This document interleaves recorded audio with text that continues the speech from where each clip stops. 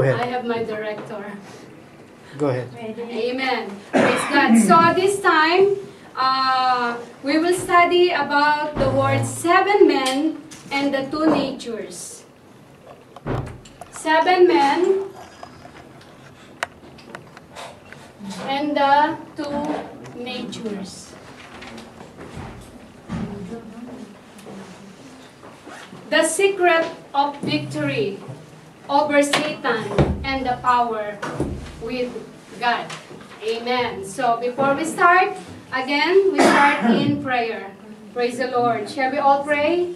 Lord Jesus, thank you so much, O Lord God, for this day, Lord God, as we come to your presence. Lord, as we study your words, O God, I pray, Lord God, your anointing be upon your servant. And I pray, Lord God, that the eyes of understanding of every one of us be opened and let your wisdom, Lord God, uh, be put and be imparted to everyone's heart, Lord God. I pray, Lord God, that speak to everyone's heart, Lord Jesus, as we study your word, O Lord God. Hide me in your presence, Lord God, because I can do nothing with my own selves, Lord. But I need your spirit, Lord God, to speak to everyone everyone's heart, Lord God. We thank you, Lord Jesus. In Jesus' name we pray. Amen. Amen. Praise God. So we study seven men and two natures. Oftentimes, as a young Christians, we become discouraged when they discover that even the, even though that they have received the Holy Ghost, they still continuing doing something wrong. Sometimes Christian says that, why I do like this? I already know God, but I'm still I'm still doing the wrong things. Sometimes I'm still doing the wrong things. I'm still doing the things that I know that God uh, doesn't like. So sometimes we are prone for temptations. Amen. We are prone uh, to fail some other lines as a being Christian. Sometimes we fail because uh, we thought that they would never be tempted again. So, how many, first of all, how many of you here in this house are already baptized in Jesus' name? Can I know your hands, please? So, only some, so most of us are baptized in Jesus' name. So, Amen. since we are all baptized and we know God, all of us are battling. We are battling to this kind of uh, natures that we have. Why am I battling at the time against sins in the world? Am I really saved? Sometimes we ask this, am I really saved? Because why I'm still battling? Why, why I still I still doing the, the same things? Why I still sinning? While I still doing the wrong things, uh, I'm not doing the will of God. So why do these temptations keep coming to us?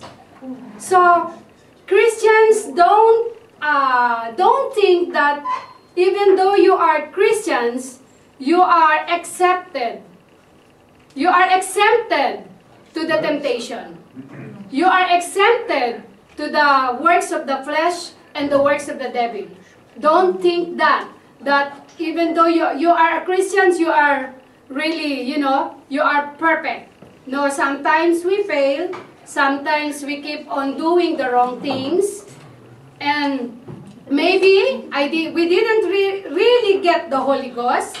If I did, why do have all these temptations and desires keep on hunting us? Again, I ask, who in this house have the Holy Ghost? Praise the Lord. So some yes, some no. So for some yes, why do I have I have already the Holy Ghost, but why I keep on doing the wrong things? Why I keep on doing my old me? So the reasons that they are we are discouraged is because they fail to see that that, that we now have two natures. As a Christian, as a born again, we have now the two natures. What is these two natures? So to deal this, to deal with, fighting for possession of the same body. Galatians chapter 5, verse 16 to 17. Galatians 5, 16 to 17.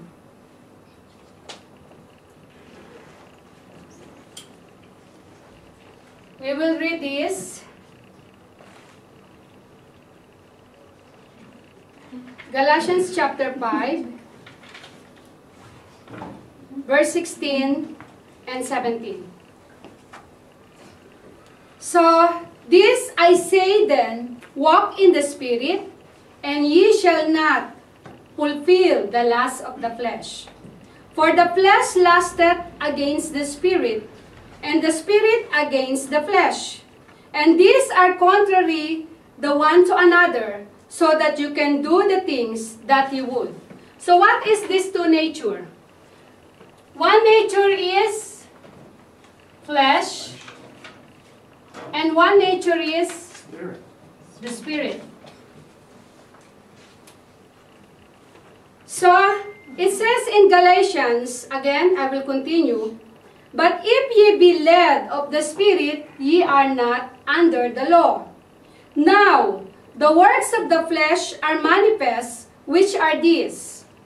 Adultery, fornications, uncleanness, lasciviousness, idolatry, witchcraft, hatred, variance, emulations, wrath, strife, seditions, heresies, verse 21, envyings, murders, drunkenness, revelings, and such like, of the which I tell you before, as I have also told you in time past, that they which do such thing shall not inherit the kingdom of God. So we will see the another nature. It is the flesh. And the Bible uh, defined what is the works of the flesh. What is this works of the flesh? And then, again in verse 22, But the fruit of the Spirit is love, joy, peace, long-suffering, gentleness, goodness, faith, meekness, temperance. Against such there is no law. So this is the another nature of man is the spirit where this is leading by the spirit of God. Amen. And this flesh is leading by our own selves. This study will help us to understand what happened when we are saved. So, what happened when we are saved since we baptize, since we accept our Lord Jesus Christ? And this is how to overcome so that we will be ready when Jesus comes. Because the best thing that um, the dream, the everyone's dream, every pastor's dream or every Christian's dreams is when he comes, we will be with him. It's so sad when he comes if we will we cannot caught up or we will be raptured with him. So it's so sad. So since we are all Christians, let's do our part. As I said a while ago, that be ye doers of the works, of the words, not hearers only. So the Lord needs the doers of the word of God, not only hearers. Because if only hearers and you do nothing for the work of the Lord and for the for the glory of God, then it's it's vain. Your our salvation is just vain if we do not obey the the word of God. Remember in Samuel said Samuel said to obey is better than sacrifice. So obedience. And there is an army goal that says obey first before you complain. That's the army goal. And they said before you complain, you have to obey. So everything that is in the Bible, we have to obey and we cannot complain at all. Amen? We cannot complain of, of, at all because we know that all in the Bible, it's all for our good. It's all for our, for, for, for, Our for us to be to be uh, safe. Amen. So let us study by looking this nature as a sinner. So in these scriptures, he called us, the first nature, he called us as a natural man. Number one,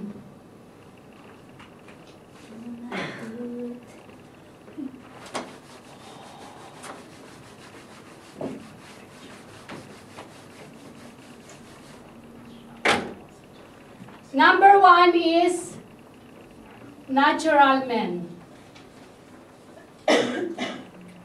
Before we did not know God, we did not accept the Lord Jesus Christ, we are natural men. We called a natural man because we don't know about the Word of God, we don't know about the Bible, we, know, we don't know about like this fellowship, we don't attend like this. So, we called us a natural man.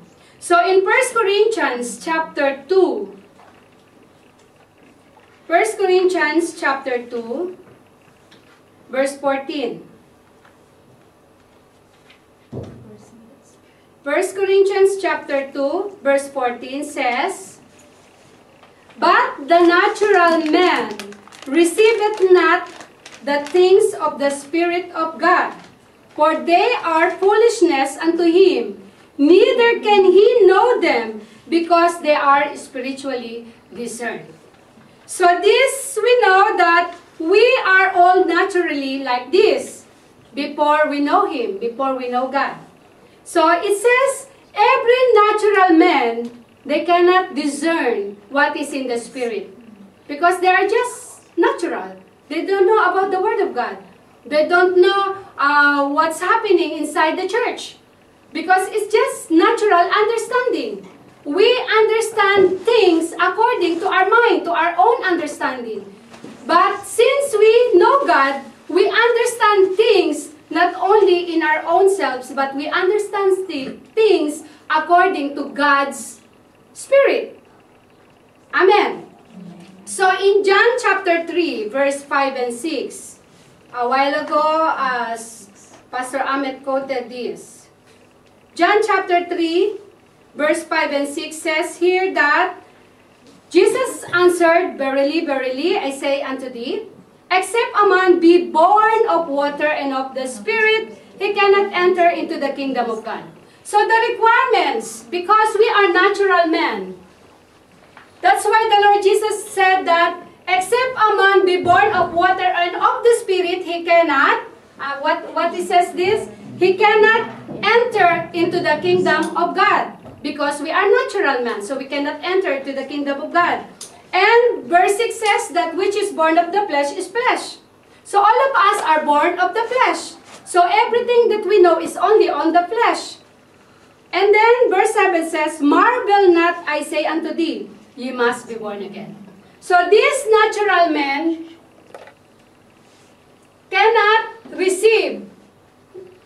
about God's Spirit because it's just natural. So the requirements is he must be born of water and of the Spirit. He must be born again. So that's the requirements of this natural man. So in Ephesians chapter 2, Ephesians chapter 2, verse 1 to 3. Ephesians chapter 2, verse 1 to 3 and verse 12. So I will read it. And you hath he quickened who were dead in trespass and sins. So this is the natural man. We are once dead, dead in trespass and sins, wherein in time past you walk according to the course of this world. What is the course of this world? Of course, everything that's uh, that is uh, no good in the sight of God. We walk in this course of this world. According to the prince of the power of the air. Who is the prince of the power of the air?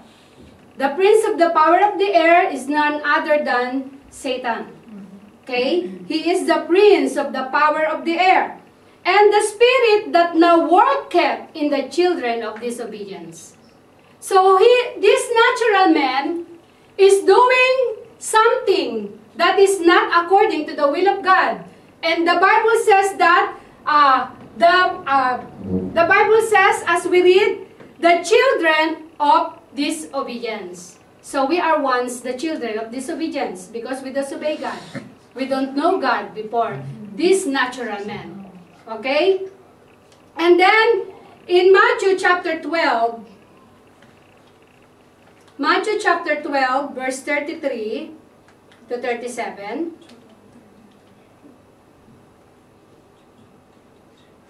Okay, Matthew chapter 12,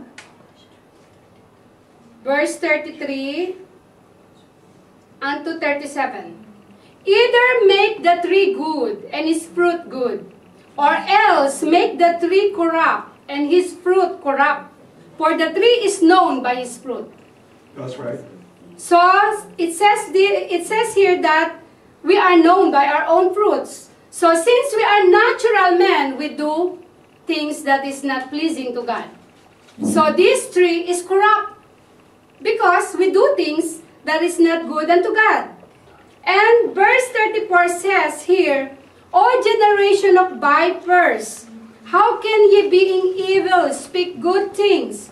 For out of the abundance of the heart the mouth speaketh. So when we are natural men, the flower of our lips is more on bad words, right?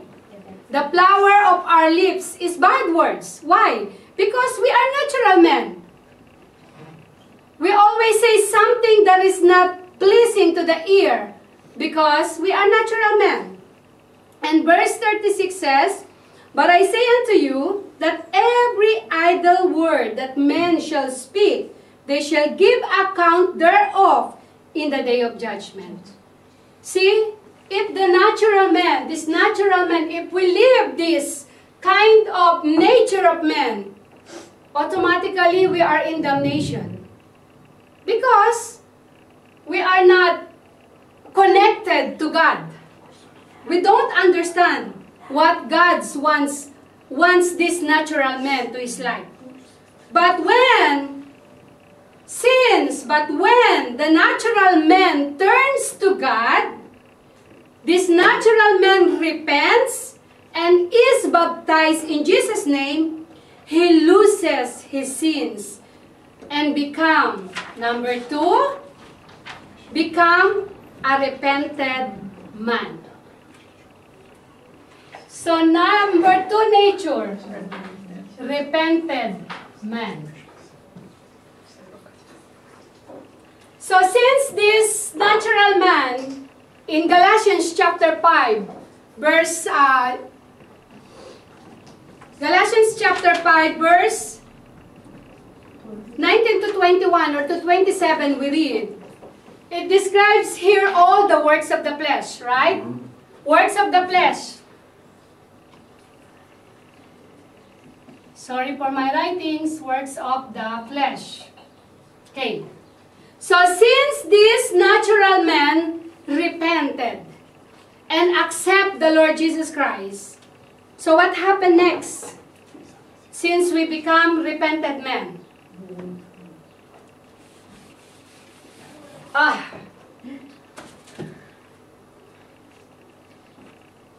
Sorry.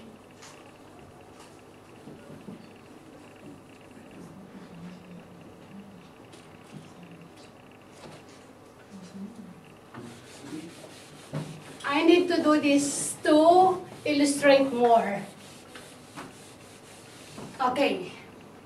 Since this natural man accepted God, the works of the flesh cut off. Okay? The works of the flesh cut off. So this is now us. Okay? Repented man. In Matthew chapter 1, verse 21, it says here that Jesus came here. Okay, Matthew chapter 1.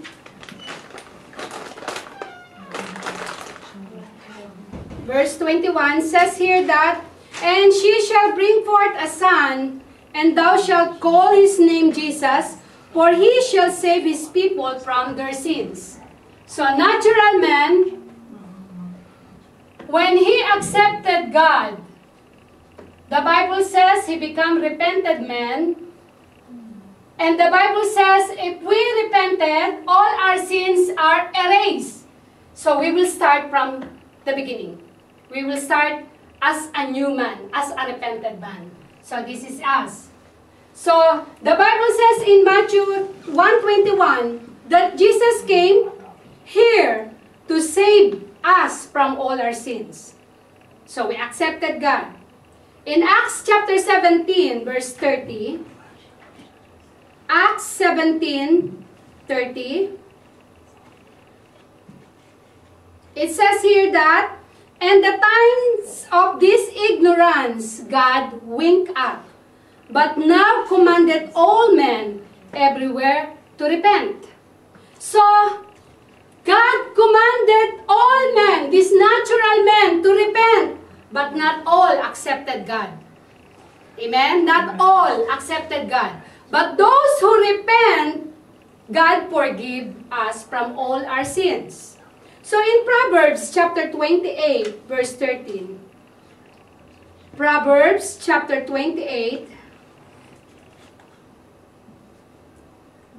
Proverbs 28, verse 13, says here that he that covereth his sin shall not prosper, but whoso confesseth and forsaken them shall have mercy.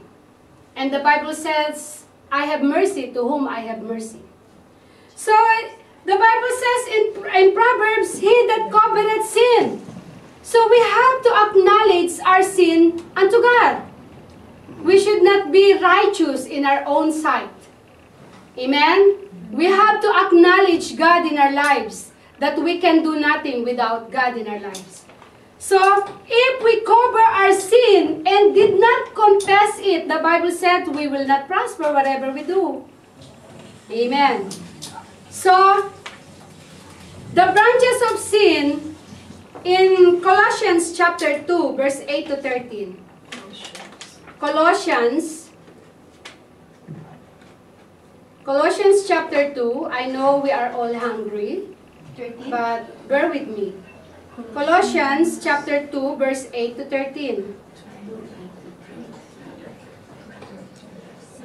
It says here that, Beware, lest any man spoil you through philosophy and vain deceit, after the traditions of men, after the rudiments of the world, and not after Christ. For in him dwelleth all the fullness of the Godhead bodily, and ye are complete in him, which is the head of all principality and power, in whom also ye are circumcised with a circumcision made without hands, in putting off the body of the sin of the flesh by the circumcisions of Christ, buried with him in baptism, wherein also you are risen with him through the faith of the operation of God, who hath raised him from the dead. And you, being dead in your sins, and the uncircumcision of your flesh, hath he quickened together with him, having forgiven all our trespasses. So we thank the Lord, because we before, as a natural man, we repented to our sins, and all our sins have gone. No more. So we will start from the scratch. We will start from here. And the branches of sin will soon reappear if he does not go on to receive the Holy Ghost. So it's not enough to be baptized in Jesus' name. We need also to receive the Holy Ghost. Because if we don't have the Holy Ghost, it will easily for us to come back to our old nature, to our old self. In Matthew chapter 12, Matthew chapter 12, verse 20, uh, verse 43 to 45. Matthew chapter 12, verse 43 to 45. It says here, When the unclean spirit is gone out of a man, he walketh through dry places, seeking rest, and findeth none. Then he saith, I will return into my house, from whence I came out. And when he is come, he findeth it empty, swept, and garnished. Then he goeth he and taketh with himself seven other spirits more wicked than, than himself. And they enter in and dwell therein. And the last state of the man is worse than the first. Even so it shall be also unto this wicked generation. So this repented man not only baptized in water, but also need to be baptized in Holy Spirit, Holy Ghost. Because if this natural uh, repented man, because we are new creation, we become a new nature, we become clean in the sight of God because the Lord forgive all our sins. And when the Bible says in Matthew as we read, when the as a natural man, we have this devil with us, right? We have this bad spirit with us. We have these works of the flesh with us. But when we repented, it's cut off. So, we are all clean. But, this still reappear if we don't uh, supply our spiritual needs with the spiritual things of God.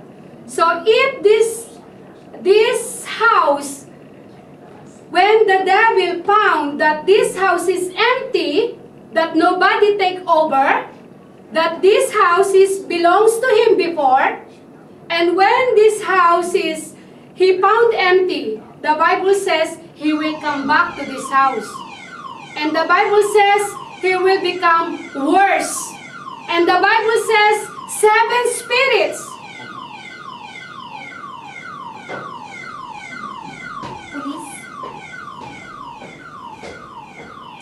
Thank you, Jesus. So the Bible says seven spirits will come back. Amen? So natural man cannot receive anything from God. So, so this, sa Tagalog, di ba nakakilala tayo sa Panginoon? Noon, ngayong nakakilala na tayo sa Panginoon, nilinis tayo ng Panginoon. Pag ang yung spirito nawala sa'yo, babalik Babalik uli ang dati mong laman. At ang sabi ng Biblia, pitong spirito aayain niya sa katawan mo. So, ang sabi ng Biblia, you are more worse than before. So, we called it this tendency to backslide. Diba? Yung backslider. So, when you are backslider, it will be become worse than before. I remember when I was backslide. I know that I'm worse. I'm doing something worse to God. That's why I called myself um, doomsday. That was my doomsday. Really, really very bad in the sight of God. So, that's why the branches of sin will soon reappear if we does not go on to receive the Holy Ghost. That's why we encourage every day or every Sunday here in the church that we have to receive the Holy Ghost. We have to pray. We have to worship. Because the start of having the Holy Ghost is to have a clean heart, for you to, to open your mouth, to open your heart, to open yourselves to worship. Because if the, the, the Spirit knows that your body is ready to, to pull, to put His Spirit to you, then He will give it to you. But if it's so that you are not yet ready, of course, okay, there are lots of disturbances. That's why we need to, when we come here, we need to concentrate to God, we need to worship God, we need our mind to be on God. Amen. So, when, but when he received the gift of the Holy Ghost, this repented man, when he received the gift of the Holy Ghost, he truly becomes a born again man. See, before you become a natural repented man, then you will become a born, born, born again man. So, there are lots of process. Natural man. And then you will repent. This is repented man. And this repented man is fighting for two natures, right? Nature with the old nature and this nature as a Christian. And when you continue having the Holy Ghost in your life, the Bible says you then you will called born again. So when we are born again, remember I cut off all the works of the flesh. So this is us. This repented man continue having the Holy Ghost, continue reading the Word of God, and then we become the born, born again. And then we are now the new, new nature, and we are grafted in. So these branches will again make another tree. Yan. Tama ba? Yes. Yan. Kasi grafted tayo. We are grafted in. Remember, we are grafted in with the Lord Jesus Christ. So, Jesus Christ is the tree. Okay? And we are branches, we are grafted in. We are born again. And this is our new nature. Because we go in the Holy Ghost. Yes, sir. Ah, okay. So, in John chapter 3, verse uh, 3 to 5, as we read, uh, it says that, that except a man be born again, be born of the Spirit, and of the water, he cannot enter into the kingdom of God. And in verse 7, Marvel ye that I said unto you, ye must be born again. So, marami tayong dadaanan, di ba? We have a lot of things to pass, uh, to pass through as a Christian. So, then you become a born again. And then, you have now a new nature. And then, you will, you will say to yourself, oh, uh, before I do like this, before I wear like this, before I talk like this, bad things, but, but, but I'm, I'm changing. I keep changing. I don't know why. Right? Sometimes we, we, we, we, don't, we realize that before I, I easily say the bad words. But now, I have no, somebody is uh, not my words be. The flower of uh, the flower of our mouths is uh, said to our to our mouth. Amen. So now we are born again. In John chapter 7, John chapter 7, verse 37 up to 39. And we will finish this born again and the, the other day is another again. John chapter 7, Verse 37. So we continue this next time? Yes. 37, verse 39. Uh, 37 to 39, sorry. In the last day, that great day of the feast, Jesus stood and cried, saying, If any man thirst, let him come unto me and drink. He that believeth on me, as the scripture had said, out of his belly shall flow rivers of living water. But this as I spake, but this spake he of the Spirit, which they that believe on him should receive. For the Holy Ghost was not yet given, because Jesus was not yet glorified. See? As a born again, repented man, because we keep on attending, we keep on reading the Word of God, we keep on praying, and we keep on receiving the Holy Spirit of God. And then we become born again and we are engrafted to this, this tree and become a new nature. And it says here that this is the God's plan. This is the God's plan to every man to become a born again. Amen. So that we have to become a relationship to God. Romans chapter 1 verse 16. Romans 6, 6, 1 16. Romans 1:16. It says here that, For I am not ashamed of the gospel of Christ, for it is the power of the un, For it is the power of God unto salvation to everyone that believeth, to the Jew first, and also to the Greek. So, this is the salvation of God. Ye must be born again. Born again is not a religion. Born again is not an organization. Born again is, is the requirements of God that men should be saved. That's right. We must be born again. Amen. So it's not a religion. It is us. For, to, for us to have a relationship to God. So being born again, everything that old nature is changed. We are not like the natural man. Remember the work, the natural man, there are lots of works of the, the flesh. The works of the flesh are very dirty in the sight of God.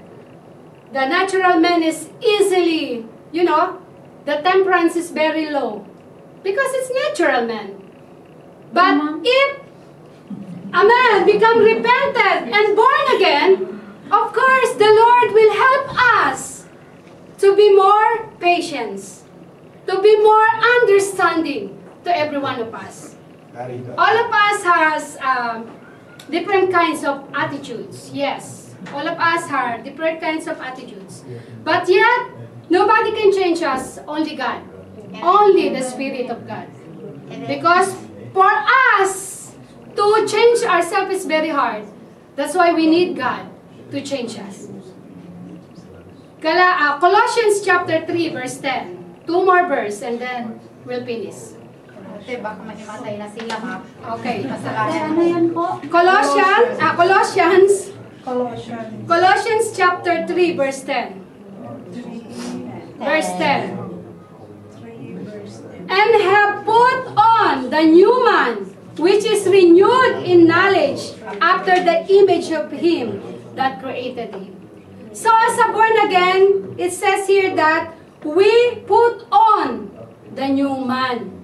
We are not, you are not living on Said now. You are different now. You are Jesus Said now. Amen? I am Virgis Christ now. Because I'm not living now in my own selves. We're living now according to the will of God. According to leading of the Spirit. But if we live according to the leading of flesh, of course, we will all fall down. Praise God. Hallelujah. So the new, the new nature graft in in the nature of our Lord Jesus Christ. So everything that with, the, with us, we are graft in in the name of our Lord Jesus Christ, not our own selves. Praise the Lord. So, I will finish my teaching today. And-. Okay na yun. Ah, okay. Pa isa pa. Okay, last verse. First John chapter 3 verse 9. This is last verse and then we will finish. First John. First First John chapter 3 verse 9. Tapusin mo na lahat. Eh! Eto na, wag na, marami masyado. First John chapter 3 verse 9. nga sila nakikinig. Matira ang matibay.